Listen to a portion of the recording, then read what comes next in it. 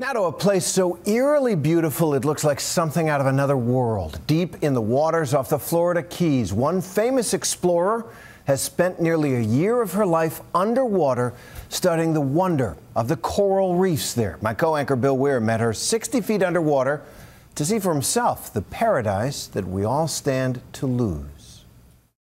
She's out there somewhere. Under there, somewhere. A woman known as her deepness.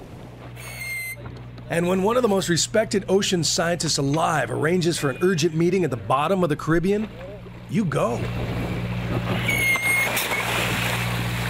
With pounding pulse, we drop beneath the surface chop into that serene blue, flipper past the tarpon and jacks, those darting bursts of clown bright color, to our interview spot 62 feet below the surface.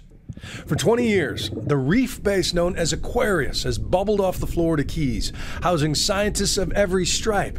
Last time I was down here, NASA astronauts were using it to simulate life on the moon. But this one of a kind place is endangered now, doomed by the federal budget axe. And here to try to save it is the former head of NOAA, National Geographic Explorer in Residence, and unofficial Sturgeon General, Sylvia Earle. Great to see you again. Great to see you too. Real honor. Thanks Welcome. for having me in. Welcome aboard. You ever forget that you're 60 feet deep when you come Well, you know, down it's it's easy to forget that you don't that you're not a sea creature. It's just so peaceful? Yeah. until somebody makes a meal of somebody else. Right. She has spent almost an entire year of her storied life underwater, over 6,000 hours, climbing into massive suits, piloting tiny subs, diving deeper and longer than any woman and most men ever. She took her first breath of compressed air 60 years ago. And when Harvard launched a two week underwater project in the 60s, she was among the first in line. The head of the program, he said, "Well, half the fish are female. I guess we can put up with a few women." And they couldn't just leave it alone. No, we were the aqua babes. We were the aqua chicks. We were the aqua bells, and they even got this great name, the aqua naughties.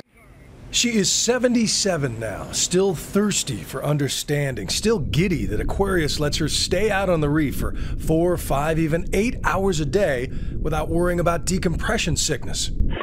Good that you're here. She originally fell in love with ocean plant life, the microscopic algae responsible for every fifth breath you take. But over the years, her wonder has been steadily replaced with worry. Once vast pockets of thriving, teeming life are getting increasingly hard to find. A warming planet is changing the acid levels in the sea, killing coral reefs. Pesticides running down the Mississippi and the Deepwater Horizon disaster have stressed the Gulf of Mexico in unprecedented ways. There's some good news about Goliath groupers and some other species, but I haven't seen even one lobster. I've been here almost a week, not even one lobster. And Earle is determined to sound the alarm on the kind of rampant overfishing that has driven some species to the brink. whole ecosystems that are destroyed when trawls scrape the ocean floor.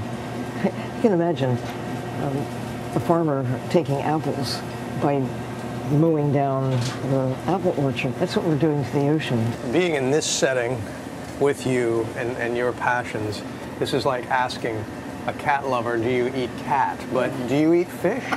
Have you ever eaten fish? Yes, I've done more than my share. I mean, I grew up in a family that loves seafood, Yeah. but I can't do it anymore because of what I know. She's concerned about all the pesticides and mercury floating out here. One reason she says ocean study is more vital than ever. But research money is drying up. Florida International University scraped together enough to save Aquarius for now, but there are no long term guarantees. Every minute, the federal government spends between six and eight million dollars every minute. So a half a minute. That's half a half a minute of the federal budget. I just want to thank you for this experience and be able to tell my grandkids that I actually went diving with Sylvia Earle. And Whoa. take care. Godspeed.